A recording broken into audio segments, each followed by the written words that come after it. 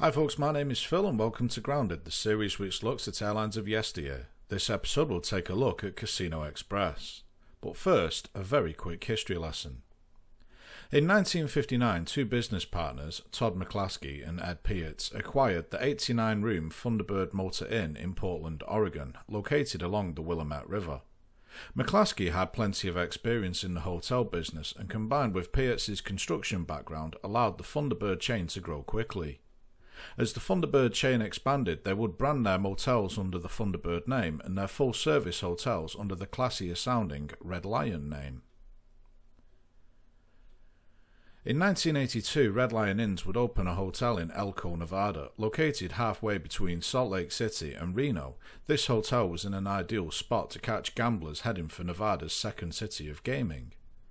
The hotel, which is now known as the Maverick Casino Hotel, was built next to Interstate 80 in prime position to snare passing gamblers. Unfortunately, gamblers being gamblers, they would often stop at the first casinos they encountered, those at the Utah Nevada border, though some would just drive on by, opting to continue to Reno instead. Fortunately, the hotel was just over three miles away from Elko's regional airport, and this gave Todd McClaskey an idea. If he could bring in guests via air, they wouldn't be able to stop off en route. Well, unless they did a DB Cooper, but let's not get silly. Starting in the winter of 1986, the hotel would bring in tourists via air and then shuttle them to their casino resort. At first, Red Lion would simply charter flights from other airlines such as the Las Vegas based Royal West, but it was eventually decided that having their own airline would be better in the long term. By having their own airline, they could control the schedules easier as well as the onboard product and keep the costs down by cutting out the middleman. The team of McClaskey and Pearts had sold the Red Lion hotel chain in 1984 for a reported $600 million. Pearts would briefly run a rival hotel chain before moving into real estate. McClaskey, despite being 72 years old, would stay on at Red Lion as the company's CEO. Due to the sale, it was decided to keep the airline operations separate from the hotel chain. Todd McClaskey established a holding company, TEM Enterprises, with the E being his middle initial, and would use the company to launch Casino Express Airlines in 1987. The airline acquired its first aircraft that September, a 17 year old Boeing 737 200, which had made its first flight in 1970, and it was one of the original three aircraft used by Southwest Airlines when they began operations in 1971.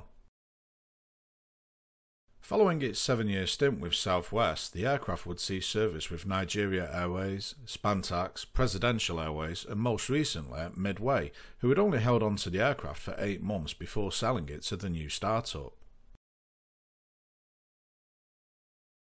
TEM Enterprises and Casino Express didn't have any prior experience operating an airline, however, so they would use assistance from Spirit of America Airlines. Not to be confused with today's Spirit, this one was previously called IASCO and had experience in operating aircraft for new and inexperienced airlines. The arrangement was very similar to Air Foyle over in the United Kingdom.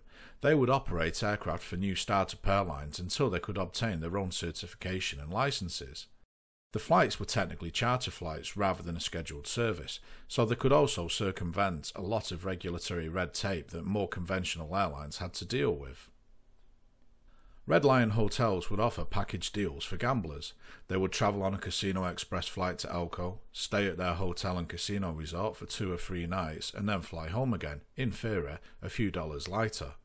In the airline's early days, passengers were required to show that they had at least $350 on them for gambling purposes. The show money, as it was called, was to show that the passengers were serious about gambling. It was a fair deal, really, as Casino Express flight and accommodation packages could cost between $59 and $130 compared to the retail price of around $400. Part of this show money requirement was that the Casino Express passengers would spend at least six hours per day gambling at the Red Lion Casino or neighbouring Gold Country Casino, though I don't know how well this was actually enforced particularly in the early days before the development of the Players Club, which could track guests electronically whilst also serving as a pseudo frequent flyer program for the airline. Another quirk of the airline was that passengers were not permitted to have any checked baggage, with the airline having strict size and weight specifications for passenger baggage. The restrictions on the baggage was reportedly due to Elko's airport elevation at over 5,100 feet, severely affecting the performance of the airline's 737. It should also be noted, though, that Casino Express didn't use any baggage handlers in an effort to keep their costs and airfares down. The luggage restriction shouldn't have been that much of an issue, though, considering that the gaming trips were supposed to be just for a few nights. Then there was also the button people. All Casino Express passengers were given a button with the airline's logo on it. The buttons, or badges, were all numbered and served two purposes. Firstly, they would help identify Casino Express passengers when they were gaming in the casino resort, helping prove that they were using that show money. Secondly, it would allow some fun and games on board the aircraft. Passengers would be invited to write down their button number on a dollar bill, which would then be collected by the crew and put in a bag. A crew member would then draw a dollar out at random, with the winning button holder claiming the prize pot. The Casino Express 737 visited a wide variety of places during its first few years. Phoenix, Miami, Oklahoma, San Jose, Seattle, and even Vancouver, with the aircraft going north of the border, all to bring gamblers to Elko. The much larger and well known capital of gambling, Las Vegas, would also see the occasional visit from the Casino Express 737. While Casino Express was a charter operation compared to a more conventional scheduled carrier, it did publish its flight schedule so that potential customers could see when the Casino Express aircraft was in town.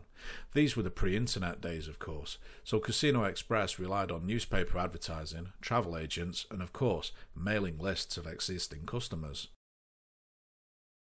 In June 1989, Spirit of America Airlines ceased operations.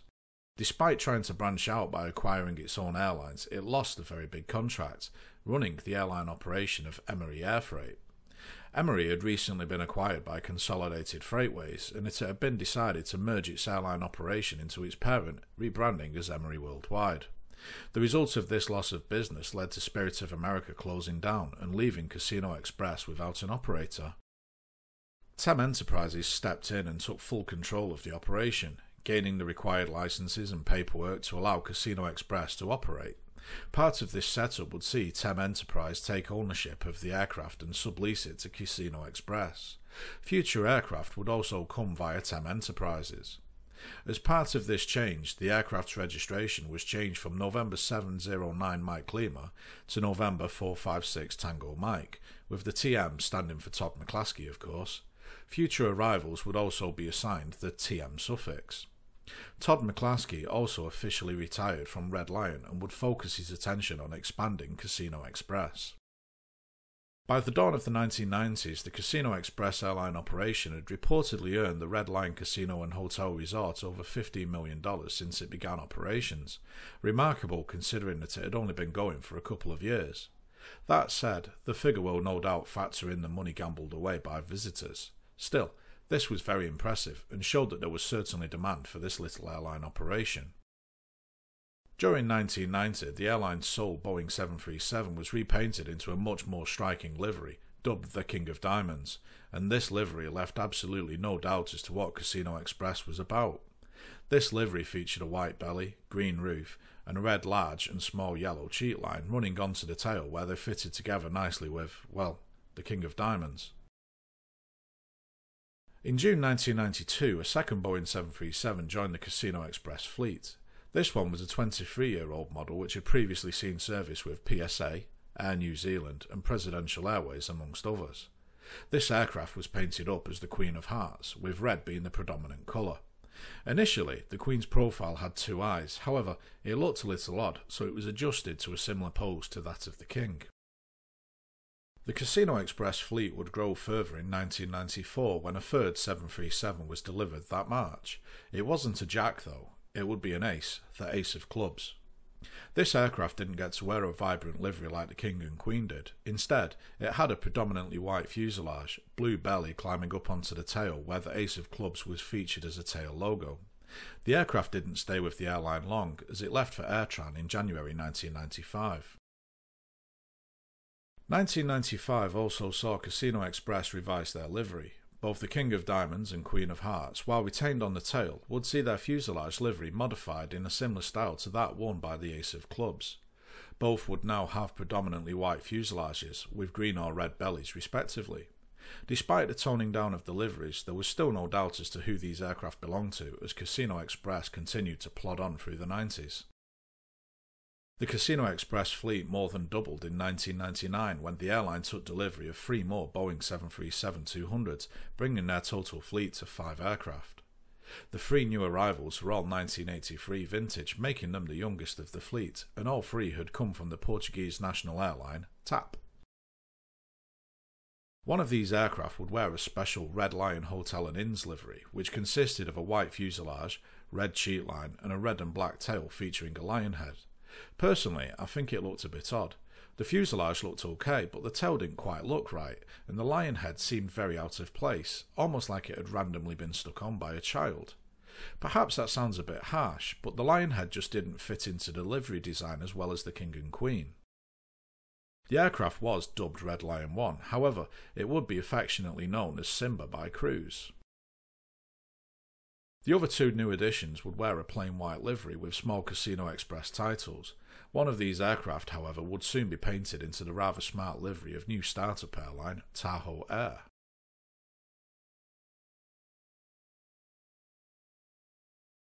Tahoe Air was established in 1998 and would operate out of South Lake Tahoe Airport. The startup airline was in part supported by the local authorities who sought to bring in commercial airlines as the airport had been without a commercial air service since Reno Air left the airport two years previously. It was hoped that Air Tahoe would be able to bring in tourists and eventually draw airlines away from the much larger Reno 50 odd miles away. The startup airline was delayed getting off the ground, however, the airline had intended on using McDonnell Douglas MD-80s, however, the type was still very much in demand and therefore harder and pricier to acquire. There were also lengthy talks with the various local authorities regarding their support packages and the airline's funding. The airline instead turned to Casino Express for support, they would use Casino Express in pretty much the same way that Casino Express had needed the assistance from Spirit of America in their early days, with Tahoe Air piggybacking on Casino Express's operations. Casino Express would operate flights on behalf of Tahoe Air, initially on one route from South Lake Tahoe to Los Angeles, with the inaugural flight taking place on June 25th. A second route began a few days later with San Jose seeing service on July the 1st. The Tahoe Air project was short-lived, however, with the airline ceasing operations in October 1999. The sole Tahoe Air 737 was absorbed back into the Casino Express fleet, which was now standing at five aircraft.